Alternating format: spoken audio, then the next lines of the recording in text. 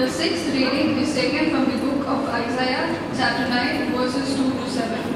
Isaiah chapter 9, verses 2 to 7. The people who walk in darkness will see a great light. For those who live in a land of deep darkness, a light will shine.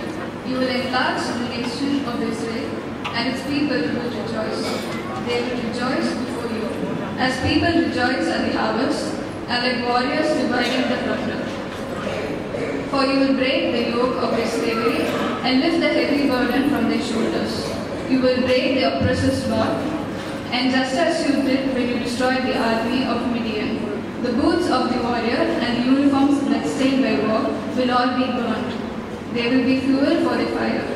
For a child is born to us, a son is given to us. The government will rest on his shoulders, and he will be called Wonderful Counselor, Mighty God, Everlasting Father, Prince of Peace. His government and its peace will never end. He will rule with fairness and justice from the throne of his ancestor David for all eternity.